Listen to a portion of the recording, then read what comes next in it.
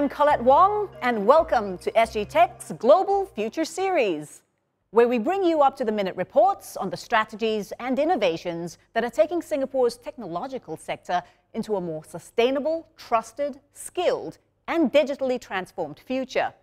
In this episode, we are focusing on the dramatic opportunities and challenges offered by AI.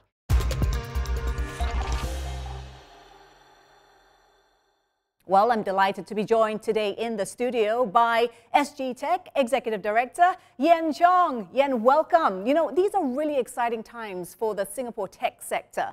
With generative AI and machine learning attracting headlines globally, how is SG Tech responding to the challenge and the opportunities of AI? Because there are some very diverse opinions globally. Yes, there are, Colette. Thanks for having me. Well, firstly, in SG Tech, uh, a lot of our members are themselves the players behind the piece of tech that we're talking about. Uh, from an artificial intelligence AI perspective, it's not new. Uh, it's been around for, for decades. I mean, pretty much, you know, as, as you know, artificial intelligence is really the simulation of human intelligence uh, using machines or machine learning or, or models, right? So effectively, Gen AI is really just one type of artificial intelligence you know, the wave has caught us very much in the last 12 months, uh, where in, this tool itself, you know, has uh, become something that the consumers and obviously business can get their hands on. Now, I understand that SG Tech has done some very interesting research into AI. Can you tell us what some of the main findings have been? We're trying to demystify uh, what this Gen AI is about. Uh, and certainly, the piece of work is really uh, focus on uh, us. Firstly, uh, we have the benefit of the knowledge of a 30 of our member companies, the tech companies, uh, both of bigger uh, global MNCs as well as the tech companies in Singapore. So they have provided their insight of the kind of skill sets uh, and in a way trying to categorize what this means for firstly a general user or maybe to a power user or even someone just looking towards you know, carving a career uh, in tech and for AI. So where do companies go for guidance?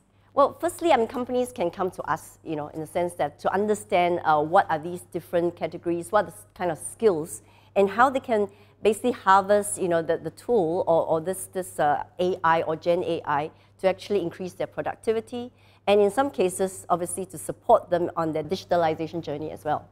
Great stuff. Yen will be talking again soon. And we'll be hearing more on generative AI and its impact on Singapore business from SG Tech Chair Wong Wai Ming and co-chair of the Talent Steering Committee, Ben Ma, later in this episode.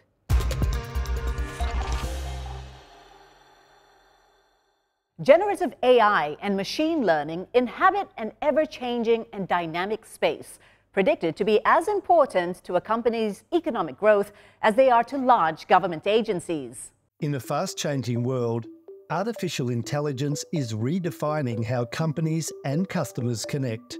Generative AI, with its ability to learn, has arrived and is bringing challenges around the creation, distribution, and control of data. AvePoint is on a mission to help organisations ready themselves for the new wave of technologies.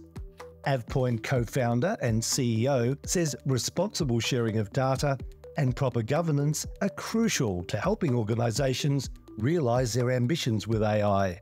One of the critical issues we help uh, large enterprises, um, government, financial services, manufacturing solve is the governance of data. It's the access uh, control, the access lifecycle. When should something uh, be accessible and when should that um, access be turned off? For many businesses, innovating and keeping up with changing technology, such as AI and machine learning, is essential to remain competitive. The definition in our industry, we're in the software industry, we say a year is eternity. So the only constant in our industry is change.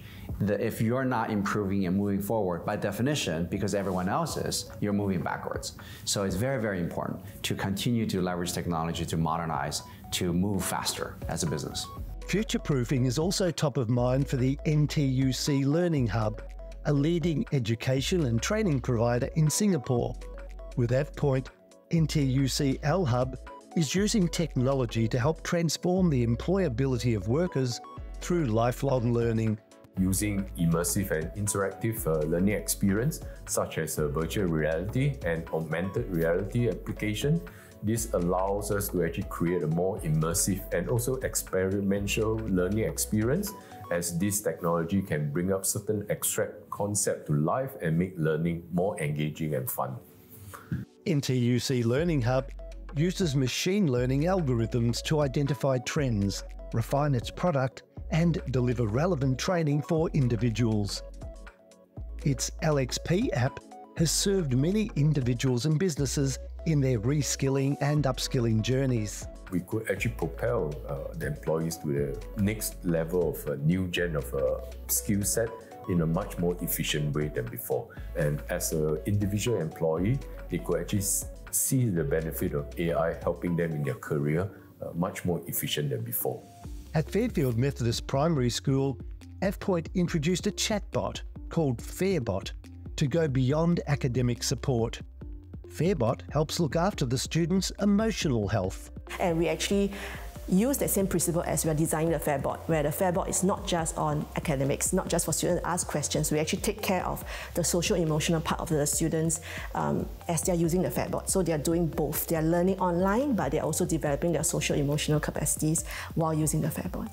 With AvePoint, bringing the right technology to meet the school's educational vision is just the beginning.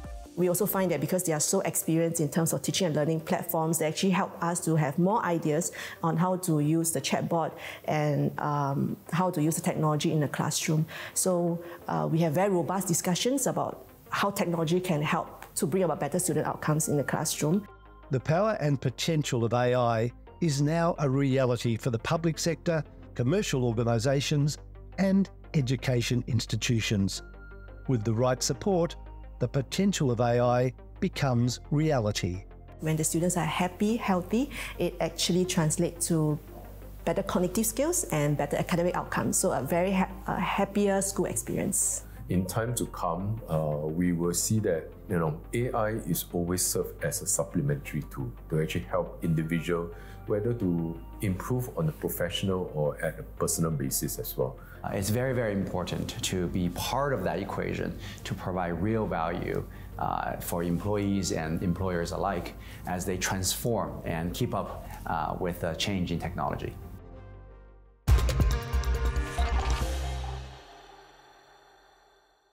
SG Tech has been at the forefront in helping its members meet the opportunities and skills challenges of generative AI. Here are insights from some of our industry leaders. SG Tech realized that this is a very important moment where there's a need to partner with business owners, technologies, and individuals towards capturing this Gen AI opportunity that is in front of us.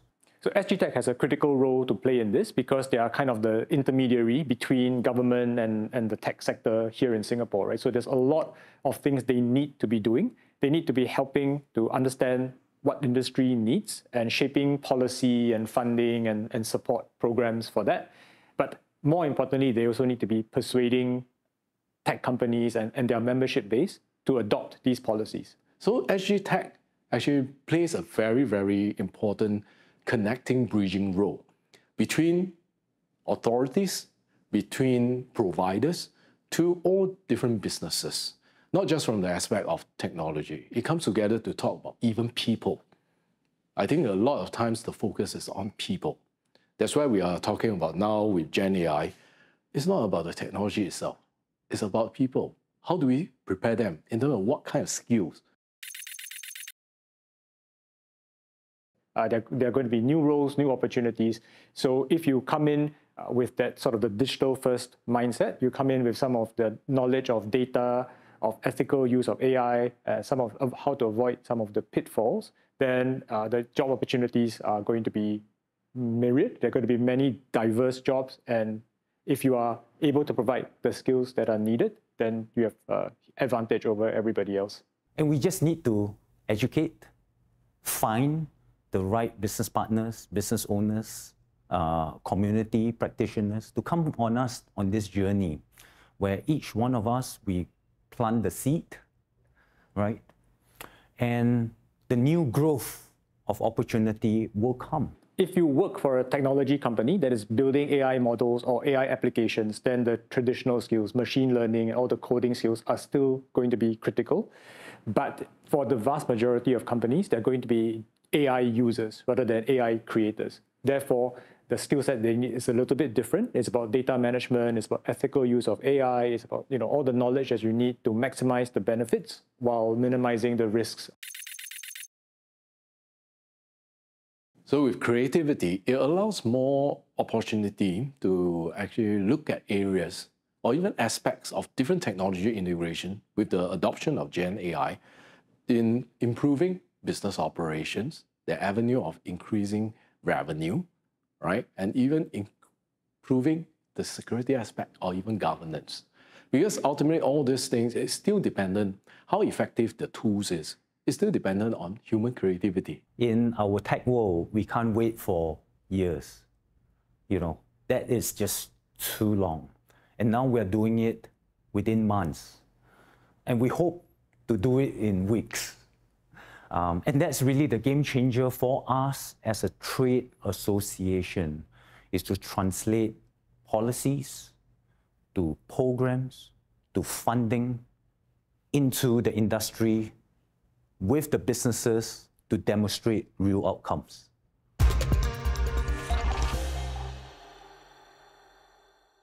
Translating AI into real world action can be a steep learning curve, and the implementation of AI within a business will naturally drive organizational change. Chief DX is helping its clients not only manage this process, but also to train employees for the transition. AI, or artificial intelligence, is set to shape the way we live, work, and do business. With applications and opportunities evolving at a rapid pace, it's no surprise that tech can be difficult for organizations to make sense of, let alone embrace. People do need help adopting the technology not only into their daily lives, but into their businesses as well.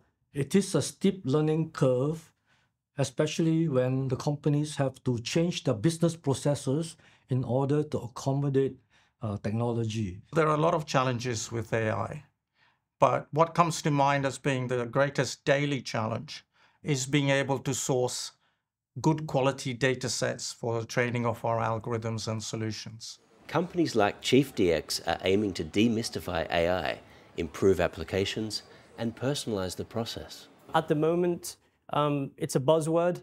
People aren't very sure of how to utilize the technology to get an ROI. And I, that, and that way, I think there's a huge market for external consultants to come in and help them out. And industry wide, it seems there's no time quite like the present. In the last few years, we have a great reset. And uh, because of the pandemic, which made many companies realize that uh, if they do not embrace technology, it's very di difficult for them to uh, survive and uh, do business. Chief DX was uh, born in Singapore as a local AI startup. Uh, we've now established our global headquarters in Singapore. And since time of inception in 2017, we focus on three main industries, media and entertainment, healthcare, and GovTech. But the one thing that we've always kept in mind is that data is a competitive advantage. In media and entertainment, advanced AI analytics can provide real-time feedback for content creators. It allows them to almost have the audience telling them where to go in terms of the content. Supporting healthcare with AI is all about patient-centric solutions. Right now, from what we can see, uh, there's a crunch in resources in the healthcare industry. So in order to be able to replace some of those with automation so that the people who are working in the industry can focus on patient care, we look at using AI to be able to deliver that in the solutions. In GovTech, the responsible use of data and cybersecurity are primary focuses. The Chief DX model is based on creating centers of excellence. We're able to enhance uh, our clients' internal AI capabilities um, by building them an AI center of excellence. Um, firstly, we would conceptualize the structure of the team. Then we would acquire talent on their behalf. um, while overseeing its operations and taking responsibility for leading the team to project completions um, before handing it over at the right time to their client's leadership team. The results from just one Singapore SME taking AI consultancy to the world stage are inspiring. Chief DX has helped scale businesses to unicorn status and created a strong presence in their second largest market, Dubai. They are Singapore startup and uh, that they are doing very good business uh, outside of Singapore, spreading the good name of Singapore abroad. The team believes personalization is the best way to move the industry forward. We have to focus on hyper personalization because it's shown that we're used to personalization in our everyday life as consumers. So we need to offer the same level of hyper personalization in the corporate world. And so I would see that the business models and the AI models that we're developing will move towards focusing on professionals and specialists. From business support to analytics and lately generating impressively detailed imagery, the AI industry looks set for exponential growth. At Grad College of Engineering, one example, a multimodal large language model built by Chief DX for the education sector, where an AI assistant transforms text or voice input into a verbal avatar. When uh, generative AI came about, uh, the common man was able to touch and feel the AI, and that has caused, caused the whole world to go crazy. I think it's going to be everywhere, both in people's personal lives and their businesses. I think eventually uh, each person will have their own super assistant. They'll be able to help them manage their daily lives, optimize their daily lives. It's early days, but we're very excited about being in that space. And I think there's a lot more uh, technology and a lot more models that we can look forward to in the future.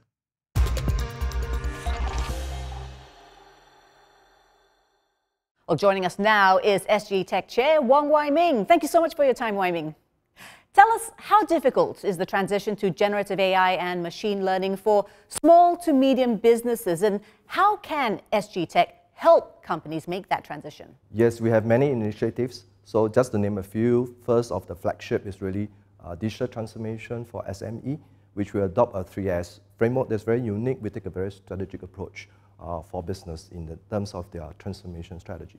Second is DGTAC, which is really targeting an industry and trade association level to transform uh, on an industry-wide level in terms of uh, you know, technology transformation. And third, we have recently teamed up with AI Singapore and Skills Futures Singapore, and we have launched a generative AI for tech workforce guide. It's really a resource guide uh, that shows a whole spectrum of skills and support available for business owners and their employees. Would you say we currently have the skills base in Singapore to ensure the transition to generative AI is as smooth and trouble free as it could be? Yes, we have, but not enough. Uh, first thing, AI is really a new technology. Second, AI is such a fast changing technology. You really have to look into how you constantly reskill, upskill, and cross skill to be relevant. At the same time, while we have many programs in Singapore, uh, but active participation from businesses and from the workforce, employees themselves, is very important so that we can build the right capacity to maintain and accelerate at the rate of change we desire. Thank you very much, Wong Wai Ming. I look forward to speaking to you again. Thank you, Colette. Digital transformation and AI play a growing role in the world of facilities management. The technology brings efficiencies in cleaning and in risk management while elevating the experience for employees or visitors. The approach by leading facilities manager, Simpple, also delivers real-time end-to-end monitoring for owners and operators. We live in a changing and connected world. But as we move around, we expect to walk into a space that feels right, feels safe, and is somewhere we can achieve our outcomes. Facilities managers and future thinkers like Simpple are facing this challenge head on. Today, when you enter a building, we want to feel connected with the place. We want an elevated experience as a visitor to know that it is clean, safe, and digitally equipped with new technologies.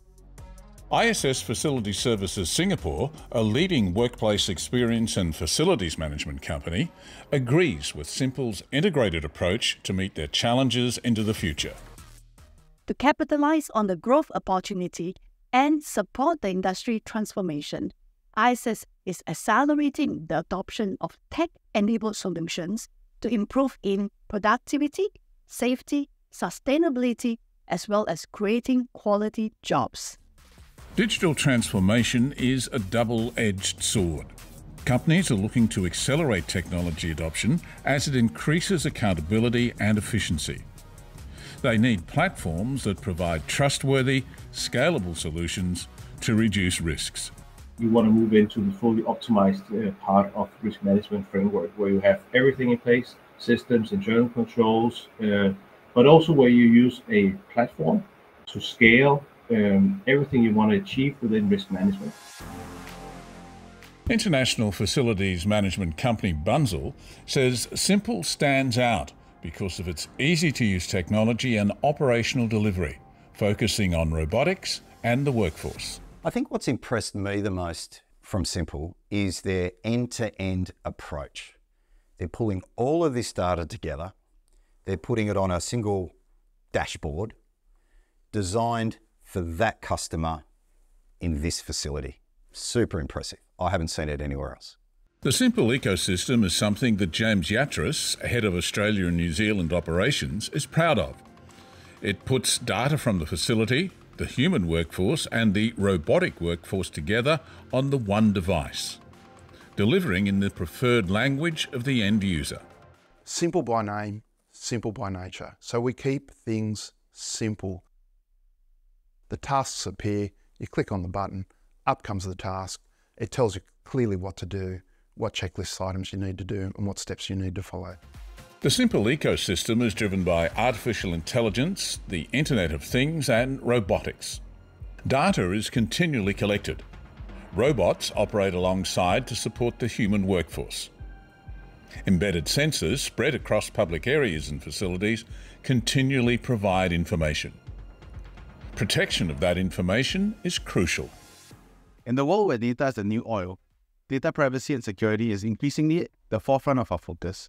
For us, this goes beyond attaining ISO 27001. As a NASDAQ listed company, we are mandated to possess good data policies and being compliant across multiple regions. The potential reduction in operational risk and the increase in productivity and efficiency excite the facilities management sector. In about five years, we will be able to preempt operations based on past and present collective events. Technology is simple, we'll continue to evolve with AI to support the industry operations. Think of a building like a human body, where the inputs the ICS knows are like the CCTV cameras and IoT sensors, and the brain is the system that binds everything together so the hands and legs, like robots or the human workforce, could come together in a system where it decides who or what is able to do that task. And in doing so, a building is now able to take care of itself.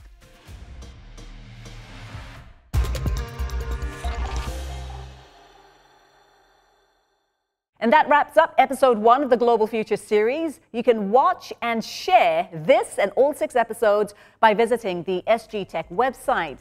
Digitalization features in episode two. I'll see you again soon.